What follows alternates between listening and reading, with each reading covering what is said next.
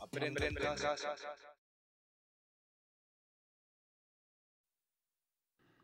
Pensad en el coronavirus como el humo de tabaco y vamos a simbolizar el olor del tabaco con cigarrillos y sonidos. Si no fumáis y no habéis estado en ningún sitio con tabaco, no vais a desprender olor a tabaco. Por eso no hay sonidos. Pero si no fumáis y si habéis estado en un sitio con mucho tabaco, vais a escoger ese olor a tabaco y cuando lleguéis a casa los demás se van a dar cuenta de que habéis estado en un sitio con tabaco. Por eso hay sonidos.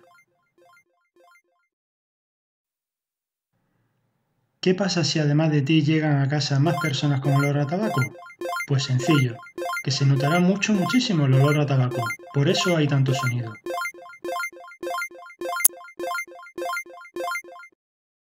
Ahora simbolizamos el coronavirus con círculos pero sin sonido, porque el coronavirus se comporta como el olor a tabaco pero no se percibe. Así que si estáis en un sitio donde haya coronavirus, os contagiaréis, pero al llegar a casa, al no percibirlo, por eso no hay sonido, vuestros familiares se contagiarán. Por último, imagina que llegan a casa más personas infectadas.